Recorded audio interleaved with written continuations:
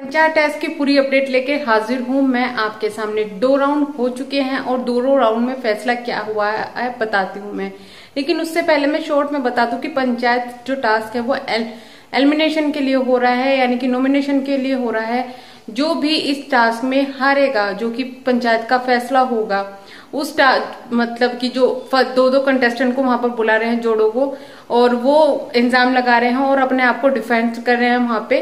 लेकिन जो उसमें अच्छी तरीके से डिफाइन नहीं कर पा रहा है, उनको जो पंचायत के मुखिया हैं, वो है शमिता और राकेश, क्योंकि वो दोनों ही अभी कैप्टन हैं तो वो फैसला लेंगे।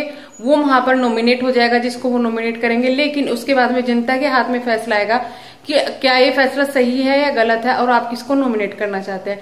तो जनता वहाँ फैसला लेगी कि वो किसको नॉमिनेट करना चाहती है। तो इसी टास्क में जो पहला राउंड हुआ है, उसमें दिव्या और जिशान, उसके साथ में जो आए थे वहाँ पर मूस और उनके पार्टनर आए थे। तो उनके ऊपर इंजाम लगा हुआ था कि ये दोनों में से कामचोर कौन है। वहाँ पर जो कैप्टन है, उसने, जो कैप्टन है दोनों, उन्होंने बचा लिया था दिव्या को और उनके पार्टनर को और मूस और निशांत को वहाँ पे एलिमिनेट कर दिया था यानी की नॉमिनेट कर दिया था।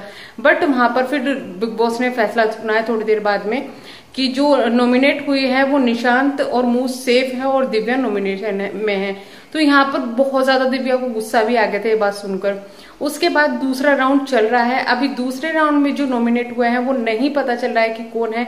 जल्दी अपडेट लेके आती हूँ मैं कि कौन नॉमिनेट यहाँ पर हुआ है।